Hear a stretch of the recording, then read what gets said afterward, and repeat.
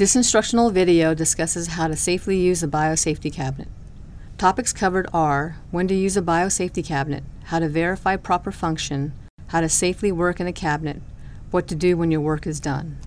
Arizona State University uses biosafety cabinets in research and teaching laboratories when working with biological materials. These cabinets protect you and other lab workers, agent and material you are working with, the environment. Always wear safety glasses, protective gloves, and a laboratory coat before working in a biosafety cabinet. At ASU, a biosafety cabinet is required when working with infectious materials or when there's a potential for aerosolization of a biohazard.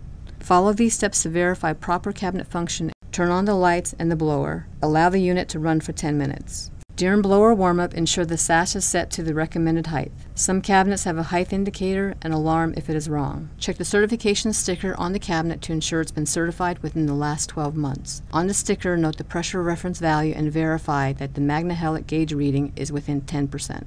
Clean and disinfect all interior surfaces of the cabinet, including the inside of the sash.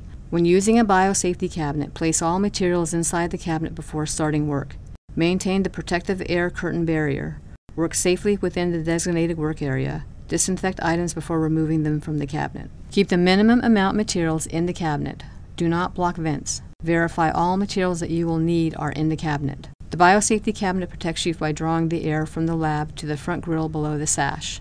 Air is filtered and recirculated from the top of the cabinet, then passed down in between the front and rear grills.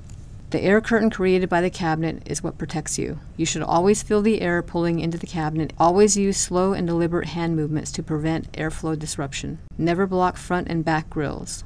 The safe working area in the cabinet is at least 6 inches from the front grill and 4 inches from the back. When working in the cabinet, maintain a separate space for clean and contaminated materials to avoid cross-contamination. Avoid crossing over the center of the work area as much as possible. When your work is complete, close all containers. Disinfect containers and equipment before removing them from the cabinet. Discard all the waste properly. Clean and disinfect all interior surfaces of the cabinet, including the inside of the sash, but do not clean the HEPA filter. Turn off the blower and light. To properly use a biosafety cabinet, verify the proper function of the cabinet, maintain the invisible air curtain, make sure you clean your work area and turn off the blower.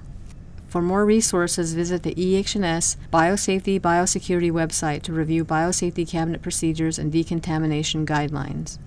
If you have any questions about biosafety cabinets, email the ASU Biosafety Officer at biosafety at asu.edu or call 480 965 1823.